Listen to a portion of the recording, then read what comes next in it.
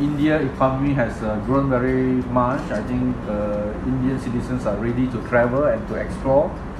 Uh, and Malaysia enjoys a very good relation with India all these decades. I think uh, come to experience Malaysia, come to experience Penang. I think we have great things to offer.